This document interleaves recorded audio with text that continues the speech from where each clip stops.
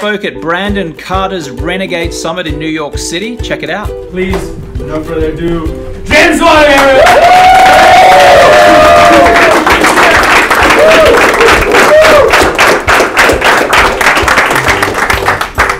Thank you very much. Appreciate that. Um, sorry I sold you 6,000 bucks worth of Tai's programs, mate. Well, sorry. but I got some other stuff to see, so come hang out with me later. I'll get you for 20 grand before the end of the day. What did you say? The only reason I'm here today is because of you. What about you? Because of you, man. Instagram. Instagram, the power of Instagram. My name's James Swanwick. I'm from uh, Brisbane, Australia. I'm 41 years old. Um, I was the kind of guy who always had a job. So when I left high school as a 17 year old in Brisbane, I uh, got a job as a newspaper reporter for a Rupert Murdoch broadsheet. Um, and I was there from 17 to 23. And I had a job. I had a boss, got in the workplace. It was great. When I was 23, I moved to London because a lot of Australians get a two year work visa and they can go and live in London uh, work legally for a couple of years. And uh, I went to London, I got a job at Sky Sports. I was a uh, cricket and rugby reporter there for a few years. And then I used London as a base to go backpacking to South America, did the carnival in, in Brazil. Then I did something really stupid and I fell in love with a British woman who broke my heart.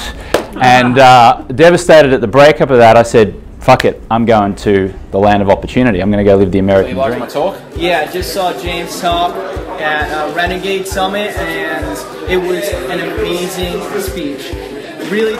And I'm not even a good entrepreneur. I'm just a like I'm just a guy who decided I was going to be an entrepreneur and I decided I was going to learn the way and I decided I didn't want to have a job and I decided I didn't want to work for corporate America and I decided I wanted to have a kick-ass lifestyle and do what I want when I want, how I want with who I want.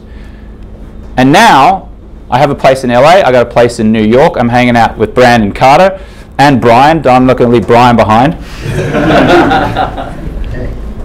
I got Raymond Duke over here. Now I'm hanging out with people like Raymond Duke, who's a kick-ass copywriter who does copywriting for Tai Lopez.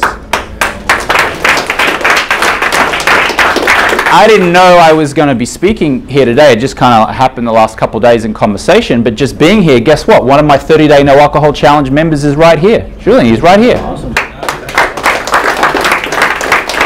This is how, like, if when you create like a lifestyle for yourself, when you do what you want, and you help people in the process, life is so good. It's so good. Transformative. He told us a story that made mean something to us on an emotional level, and I was really grateful for it. It's awesome. Make that decision, and then you get a mentor, and you get help, and you just follow that path. Man, amazing things can happen. Amazing things can happen.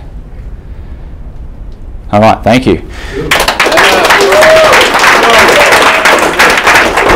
Applause for my man James.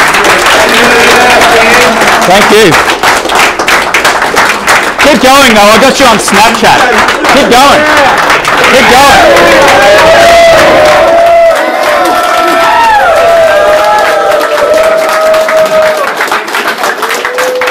So much for watching this video. Don't forget to subscribe and leave a comment down below. And if you want to learn about public speaking and you want to learn social skills and how to be more confident with people, uh, you might want to check out my People Skills Reboot program. Just go to jamesswanwick.com forward slash people. There's a link down in the About section.